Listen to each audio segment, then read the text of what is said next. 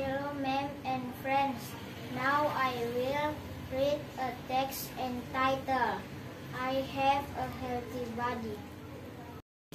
I have a healthy body. I'm big and tall. That is why my friends call me the big boy.